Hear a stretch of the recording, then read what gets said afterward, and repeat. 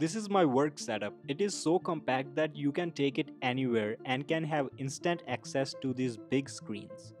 In this video, we will explore the possible future of computing, spatial computing. Before that, I want to say that I really need your support, so please subscribe. I promise to give you really good videos. Thank you.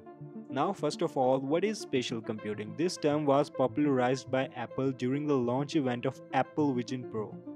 It is merging the digital world with physical. It knows and interacts with your physical space. So, if you place any virtual object in your room, it will stay there and you can interact with it. You can take advantage of your space to perform tasks that you usually perform sitting on a desk looking at a screen.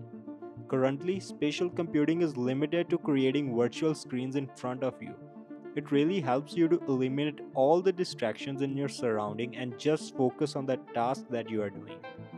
A combination of a VR headset and a good noise cancelling headphones can almost eliminate all of your surrounding distractions and detach you from reality.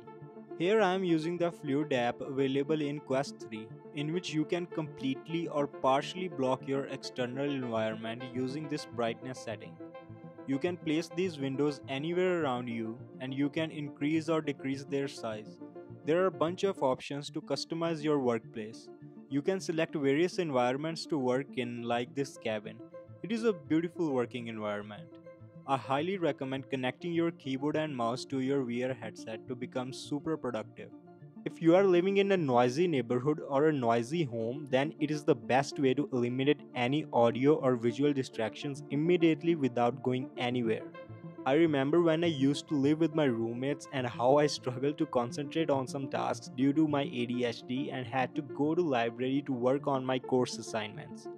I think this setup can be really useful in these type of scenarios. Obviously there are some disadvantages too. I've been using this setup instead of my laptop for the past 2 weeks for an average of 3 hours a day. And honestly, after 1 hour you start to feel a little uncomfortable due to the weight of this headset. And also the resolution of these virtual screens is not as good as 4K monitor. Overall, I think this technology can have a huge impact on how we do everyday things and can provide completely new experiences. But before that, there are some improvements that need to be made. Let me know what you think and don't forget to subscribe. Thanks for watching.